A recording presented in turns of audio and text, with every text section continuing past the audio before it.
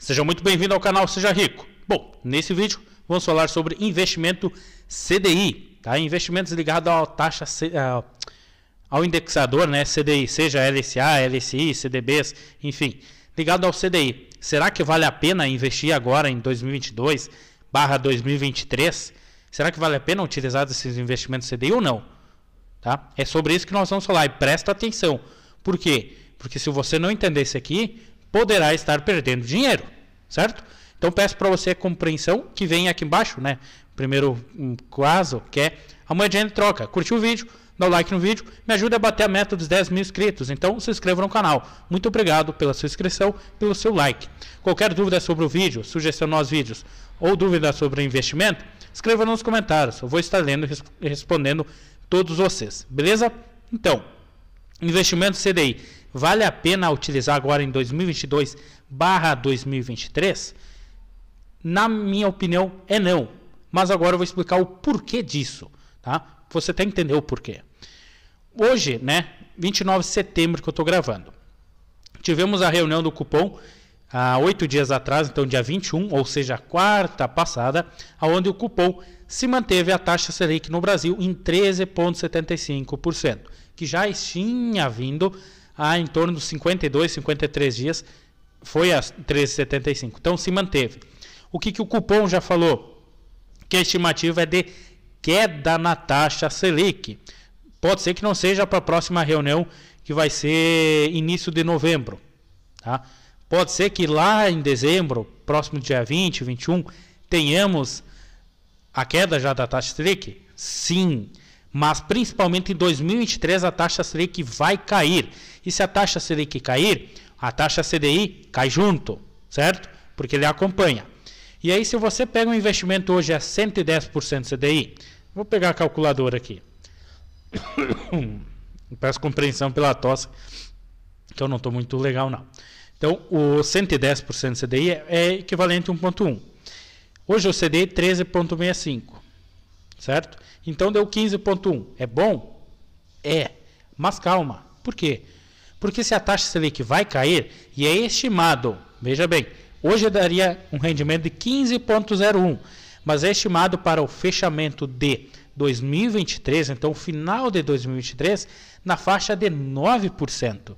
Se eu tenho 1.1, que é o 110% CDI hoje, e ela cair para 9, o meu rendimento vai estar 9.9 e não mais os 15.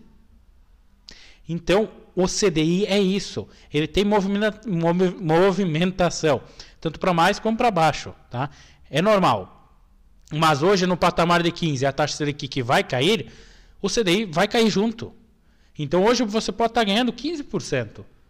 Mas depois vai caindo, outro vai em 2023, pós-reunião, 3,75, 13, 12,5, 12, 11,5, 11, 10,5, 10, 9% taxa Selic. E aí?